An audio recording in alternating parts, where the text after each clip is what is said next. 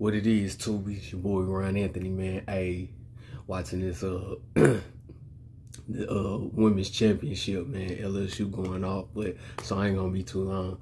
Hey, to all my boxing fans, hey, I know Tank and Garcia is going down April 20, 22nd, but we cannot forget about Rakhimov versus Joe Cordina, man that's going on down on the same day, but it's I think it's over in the UK, so it's gonna be a little earlier. We probably see it like around probably five, six, six o'clock, just like how the Anthony Joshua Jermaine Franklin went. Uh, but it going it's gonna lead us right into the, you know what I'm saying, the tank in them card. But we cannot forget about this fight, man. Joe Cordina, um, when he won his when he won his title his first title, um, his last previous fight when he won his first title or whatever, everybody was shocked because they didn't think he was gonna win, and he got a knockout victory at that. And everybody thought it, uh, it was gonna lead into him and Steven Shakur, which I would have thought, which I would have thought would have been like a like a chess match, just like how you getting with Devin Haney and Vasily Lomachenko of a chess match, a great chess match, which is some like a, a boxing fan like me can appreciate. So, but it didn't happen because Shakur, you know, um, he lost his belts on the scale. You know, body couldn't make it to 130 no more. Got to move up. Totally understand. I wish that fight would have happened, but we didn't get it. But Joe Cordina is very, he, man, he's he should be respected, man and Rakhimov. This this gonna be this gonna be a nice fight. Uh, I think I got Joe Cordina winning though.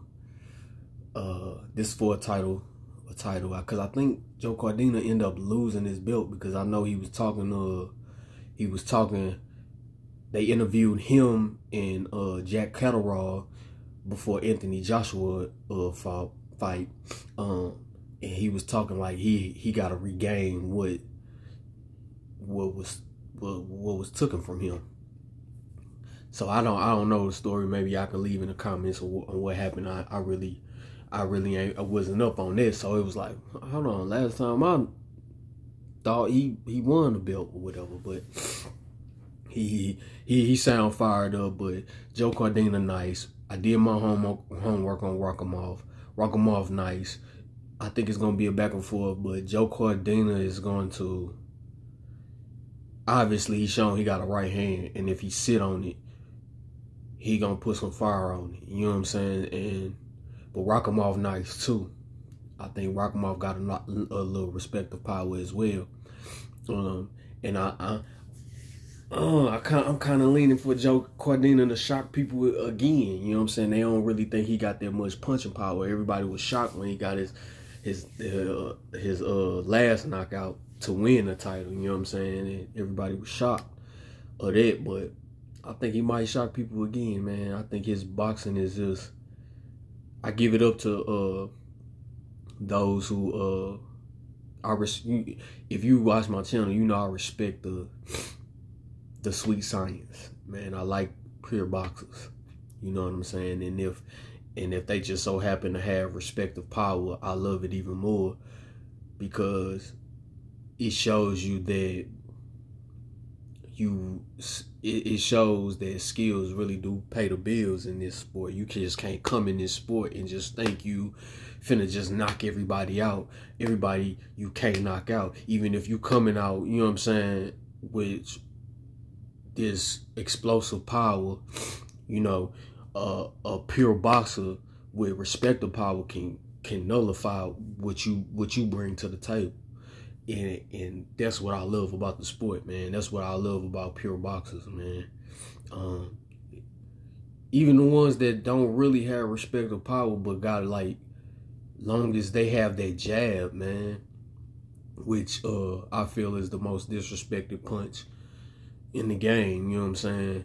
Even though everybody always tell you to use it, that's the first thing they tell you to use when you learn how to box. You know what I'm saying? So but it's still the most disrespected because everybody respect what don't nobody ooh and ah about the jabs. Did you see Anthony Joshua's jabs? Oh my God, that was just beautiful. Did you see it? Like, it don't give respect as if if he would have hit him with a hook, everybody would have remembered him hitting the hit him hitting uh snapping his head back with a hook or uppercut. You know what I'm saying? Or a body shot. But a jab, snapping your head back with a jab, everybody is like, oh, it's nice, but they don't really too much show respect for it. If you watch a lot of my shorts, I break down fights. Uh, I break down fights who who fights like past fights or even uh modern fights. Uh, I mean today's fights to where they was effectively using a jab and it just got dismissed. You know what I'm saying? Um, but yeah, I think back to what I was saying. Uh, I think Joe Cordina is gonna win this fight. I respect him because he he brings the sweet science. I love those type of boxers. Not no slight to, you know, your your your explosive punches. You know your inside fighters. No disrespect for them, but I just feel like when you got the sweet science down pat, it's like you you you it's like who can beat you? You know what I'm saying? It's like it's, it's gonna be kind of hard to beat you unless you know you come to find out that they chinny or you know what I'm saying or anything like that. But it, but it take time to get through them. You gotta actually go through that fire to find out. Like Amir Khan was a pure boxer. It took people time once they got you know what I'm saying got past his his boxing ability, his skills once they got past the jab and all that and his movement, his lateral movement, and once they touched his chin, they saw, ah, oh, he got a glass jaw. You know what I'm saying? But it took people time. Like he was a world champ before you, you don't know, before people even got to know that. That's what I'm saying. The sweet science can take you far. That's why I respect it so much.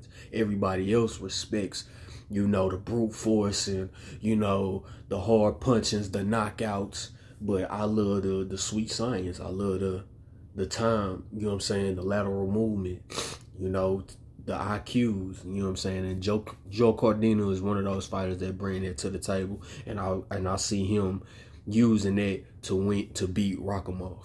But I think it's gonna be a nice fight.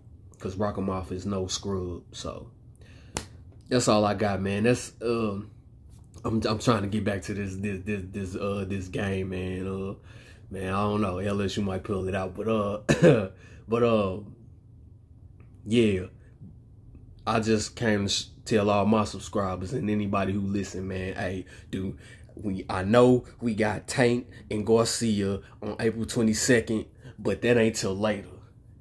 Don't forget about Rakhimov versus Joe Cordina that's gonna be earlier. That's gonna kick it off. So man, just remember that, man. You won't deep. I don't think you will be disappointed. But uh, that's all I got, man. Uh, like, subscribe. Um, check out my shorts if you into working out. I got a couple routines, and like I say on every video, man. Hey, I do. This is my therapy. I love uh the people that do subscribe. I love the people that even uh, view view my channel, even view my videos, even if it's for 15 seconds. Bro, I do this because I love it, and I appreciate every, every last one of y'all, man. Ron Anthony, I'm out.